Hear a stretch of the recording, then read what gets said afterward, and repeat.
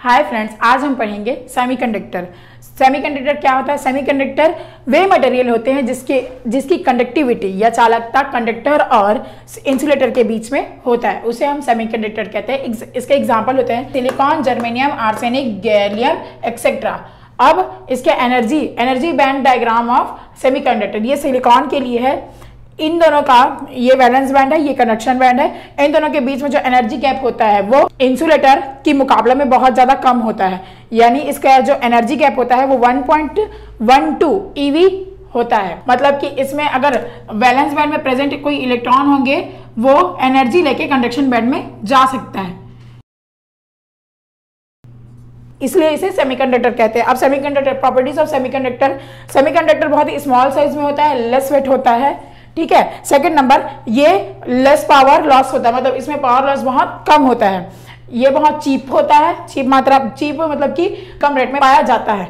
अब सही के सेमीकंडक्टर में एनटीसीआर यानी negative temperature coefficient of resistance show करता है। इसका मतलब ये होता है कि अगर सेमीकंडक्टर का टेम्परेचर को अगर हम बढ़ाते हैं तो उसकी इसी मतलब इफिशियंसी ऑफ़ कंडक्टिविटी भी बढ़ती है और रजिस्टिविटी कम होती है। इसी प्रकार अगर किसी से, किसी सेमीकंडक्टर या किसी मटेरियल का टेम्परेचर को हम लोग अगर कम करते हैं तो उसकी इसी यानी कि इफिशियंसी ऑफ़ कंडक्टिविटी लो होगी और रजिस्टिविटी हाई हो जाती है। इस इस प्रकार सेमीकंडक्टर क्या करता है?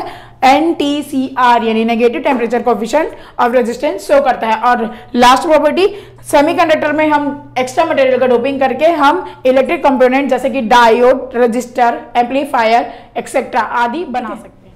अब इसके बाद हम लोग पढ़ेंगे टाइप ऑफ़ सेमी सेमीकंडक्टर्स तो टाइप ऑफ़ सेमीकंडक्टर में इसके दो टाइप्स होते हैं, एक इंट्रेंसिक सेमीकंडक्टर और एक दूसरा होता है एक्सटेंसिक सेमीकंडक्टर ठीक, अब एक्सटेंसिक सेमीकंडक्टर के अंदर में होता है एन टाइप एक्सटेंसिक सेमीकंडक्टर और सेकंड होता है पी टाइप एंट्रेंसिक सेमीकंडक्टर अब देखो यहाँ पर।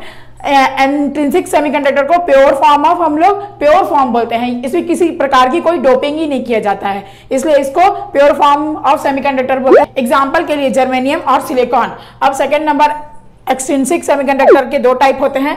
एंड ऑफ़ सेमीकंडक्टर को हम लोग पेंटावेलेंट इम्प्योरिटी पेंटावेली इम्प्योरिटी जैसे कि फास्फोरस आर्सेनिक एंटीमिनी एक्सेट्रा इसमें हम लोग ऐड करते हैं। एंड टाइप सेमीकंडक्टर को हम लोग डोनर टाइप सेमीकंडक्टर भी कहते हैं, क्योंकि यह देता है, इलेक्ट्रॉन देने का काम करता है। इसलिए हम लोग इसको क्या बोलते हैं? डोनर टाइप सेमीकंडक्टर और पी सेमीकंडक्टर में हम लोग ट्राइवल एंड इम्प्योरिटी ऐड करते हैं, जैसे कि गैलियम बोरान इंडियम एल्यूमिनियम इसे एक्सेप्टर सेमीकंडक्टर भी कहते हैं, क्योंकि यह दूसरे से इलेक्ट्रॉन एक्सेप्ट करता है। इसलिए हम लोग इसको क्या कहते हैं? एक्सेप्टर सेमीकंडक्टर इंट्रेंसिक सेमीकंडक्टर क्या होता है? इंट्रेंसिक सेमीकंडक्टर वह होता है बिना इम्प्योरिटी के। अपने इंटरनल प्रॉपर्टी के कारण में सेमीकंडक्टर की तरह बिहेव करता है। इसलिए इसको हम लोग प्योर फॉर्म ऑफ़ सेमीकंडक्टर कहते हैं। एग्जांपल जर्मेनियम और सिलिकॉन इसकी कंडक्टिविटी कम होती है। इसकी कंडक्टिविटी एक्सटेंसिक सेमीकंडक्टर की तुलना में कम होती है। अब एक्सटेंसिव सेमीकंडक्टर में प्योर फॉर्म ऑफ़ सेमीकंडक्टर में जब हम लोग ट्राइवल और पेरेंटावेलेंट इम्प्यूटी को ऐड करते हैं, तब उसे हम क्या बोलते हैं? एक्सटेंसिव सेमीकंडक्टर अब प्योर सेमीकंडक्टर की कंडक्टिविटी कम होती है, जिसको कंडक्टिविटी बढ़ाने के लिए हम लोग इसमें क्या करते हैं? ट्राइवेलेंट और पेंटावेलेंट एम्प्योरिटी को क्या करते हैं? ऐड करते हैं. इस वीडियो से रिलेटिव कोई भी क्वेश्चन या कोई डाउट होंगे तो आप इसमें कमेंट कर सकते हैं. Thank you